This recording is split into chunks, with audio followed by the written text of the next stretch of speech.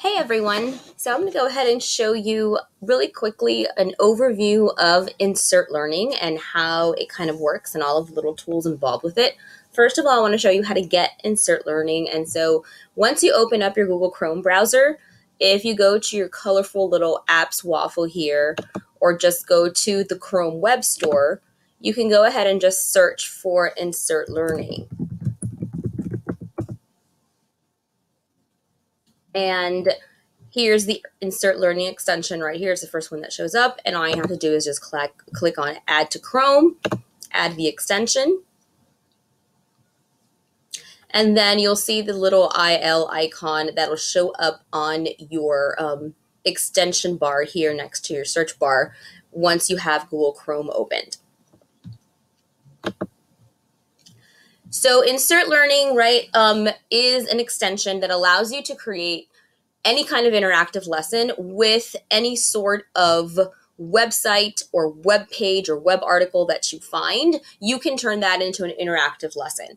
Um, and something else that you can do is that if you have like a Google Doc or you have a PDF that you've turned into a Google Doc, if we publish this to the web, this document now becomes published to the web and it also becomes something that we can actually use insert learning with. And that's actually the way that I'm going to show you right now. So I have this Google Doc that I went ahead and published to the web, and that's one of your options if you go to File.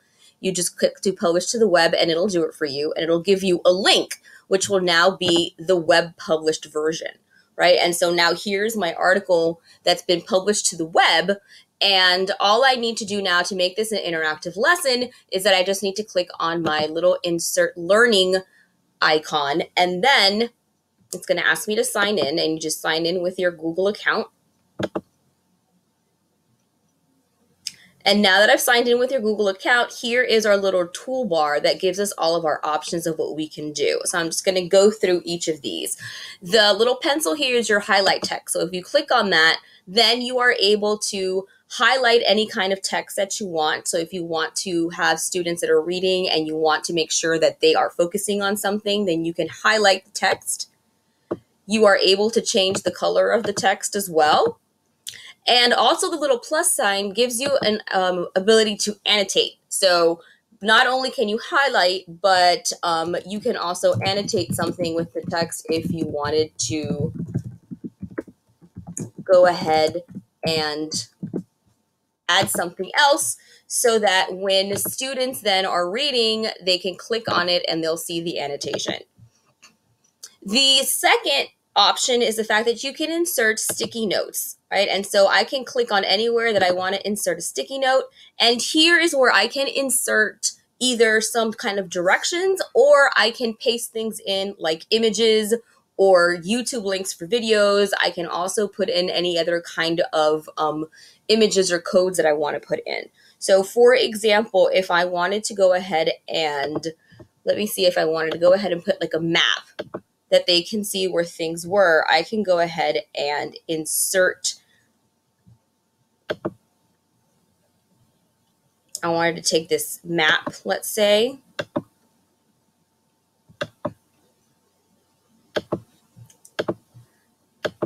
And go ahead and insert it here. So now the students are able to see the map of the different empires. Um, we're talking about here, Mali and Mansa Musa. What if I wanted to go ahead and insert a video here? I can go ahead and then get a video. Right, copy that.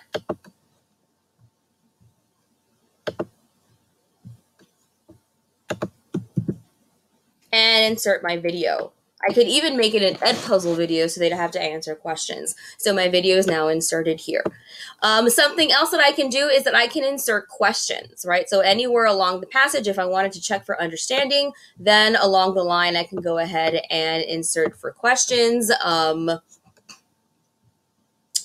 so even if I go ahead and click the question, question will come down here, uh, and we can be like, why, um,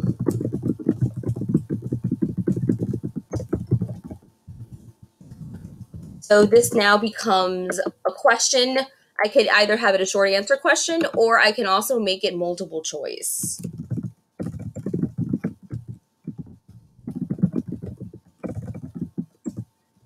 and so on and so forth. And so I can have multiple choice responses or I can have short answer responses, open ended responses if I wanted to. I also have discussion questions, right? So then here's more of a kind of opinion questions that I can go ahead and add in. So I can click on discussion and here I can create a discussion question.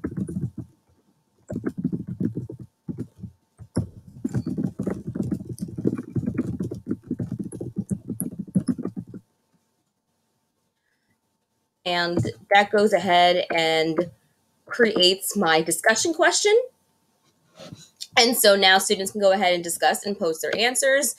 And so now all of a sudden, this text has now become an interactive lesson where students then are engaged with the text themselves and they are able to go ahead and actually work with the text instead of just um, reading it once you're done with this, then you're actually able to assign this lesson to your students. And the great thing about Insert Learning is that Insert Learning is integrated to Google Classroom. So when you assign to students, if you have a Google Classroom, then you're actually able to go ahead and post the assignment into Google Classroom. And students would go ahead and log in to Insert Learning with their Google IDs. Um, if they didn't have a Google Classroom, then the assignment would then be able to be shared with a link, and students would be able to go to insertlearning.com and sign in with an account that needs to be created, and they would be able to do this. Uh, but this is basically what Insert Learning can do. Uh, as a free account, you're able to get five free lessons to test it out. So I encourage you to kind of look at it and see what's out there. Um, especially, it's really great to find articles on the internet and be able to have students start to kind of evaluate sources. And one way of doing that with still accountability um, and still having them be able to interact with the text would be with something like this, like Insert Learning. So if you're interested in learning more about it, then let me know and I'll be glad to help you.